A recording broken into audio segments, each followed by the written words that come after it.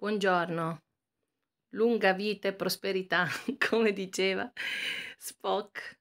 Allora, eh, volevo rispondere a questo commento. Figurati e poi non starebbe più su, tu, su tutto il teatro se quelli nei testi sono alieni, quindi mortali. Mm, mortali. Mm. Perché noi ragioniamo sempre con la nostra testa mortale. In realtà, ragionando con la testa scientifica della scala Kardashev, questo scienziato eh, sovietico, poi russo perché lui è rimasto in Russia. Dopo la caduta del muro, Kardashev non ha lasciato l'Unione Sovietica che era diventata russa, è rimasto in Russia. Questo scienziato, Kardashev, aveva elaborato questa teoria che anche SETI, gli americani, il progetto SETI aveva mh, mm, diciamo attinto dalle sue teorie. Lui cosa diceva? Che le civiltà si, si dividono in tre, ehm, principalmente in categorie in base a come sfruttano le energie. Ma sfruttare non vuol dire devastare.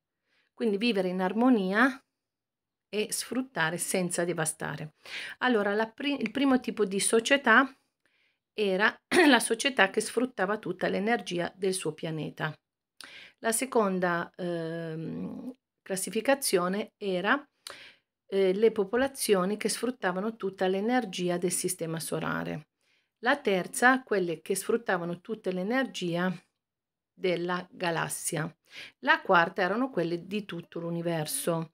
Quindi immaginati questi tipi di popolazioni o di ehm, vita eh, alternativa che non possono essere simili alla nostra o a base carbonio.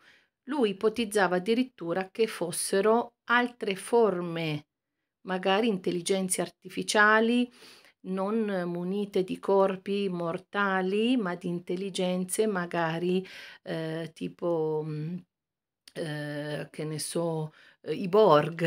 Voi avevate visto Star Trek con i Borg? Quindi in realtà noi stiamo continuando a ragionare con la testa terrestre.